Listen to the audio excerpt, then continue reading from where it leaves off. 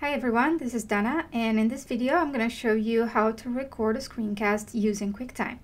So if you use a Mac, uh, then QuickTime is a really nice, easy to use tool to record a simple screencast.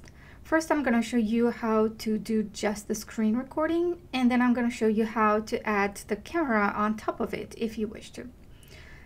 So we open QuickTime if a window pops up where it asks you if you want to open a file, just click cancel because we don't want to open anything. So I'm just going to go to file and then new screen recording. And then check that you have the correct microphone chosen here. And then just click record. And it gives you the option to record the full screen. So you just click on it or part of the screen like this say I want just this part. So I'm just gonna record that.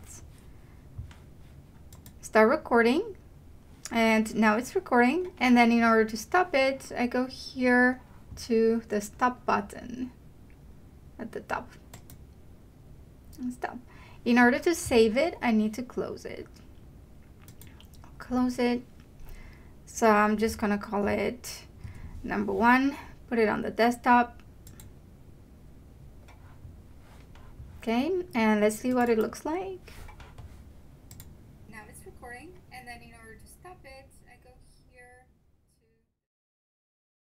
to... And now, if you also want the camera on top of that, first you need to go to new movie recording. And this activates my camera. And I can make it small and drag it and put it wherever I want. Let's say I want it down here. And now go to view and choose float on top so that it goes on top of my screen. Go to file again, new screen recording. And now it's the same as before. Click the red button and now let's say I just want the full screen.